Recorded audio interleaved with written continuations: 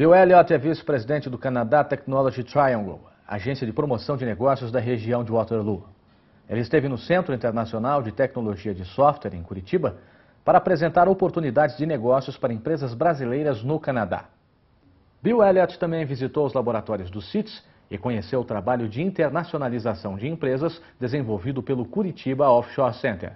É importante, o Curitiba Offshore sempre procura disseminar aí os conhecimentos de mercado e de outras culturas, né, para ajudar as empresas a identificarem oportunidades de negócio e é, fazerem mais negócios no lado internacional e trazer internacionalização mais para o dia a dia das empresas.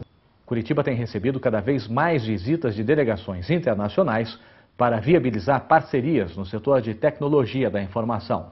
Essa é a segunda participação que eu tenho aqui num evento com é, o pessoal do Canadá, né, de locais diferentes, regiões diferentes. O objetivo deles é levar empresas brasileiras para o mercado canadense, é, trazer também tecnologias canadenses aqui para o mercado brasileiro e dar uma diversificada aí, né, na, na pauta de exportação e de serviços né, do, do pessoal lá.